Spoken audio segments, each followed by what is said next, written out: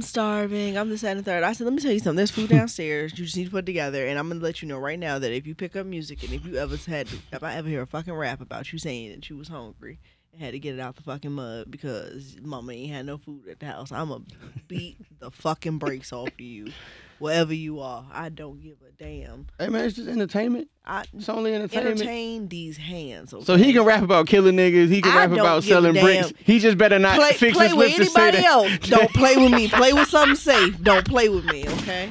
I don't give a damn what you do. Dom DeMarco, shit like that, shit like that. Bars. Shout out to my nigga Beans. you can lie about selling dope, nigga, but don't ever tell him that your Don't mama you- starves you. Yeah, don't you ever tell him I starved you. Like, if you you you better be telling truth on it, because at least at that point there's some truth to. I'm just telling y'all niggas I sold dope because I I felt like it. My mama did a great she she she did a great job. Okay, because the fact that you know what short ribs taste like, sir. You you I I headbutt them. I Them on shit's God. fire too. They are. Them shit's fire too. They are.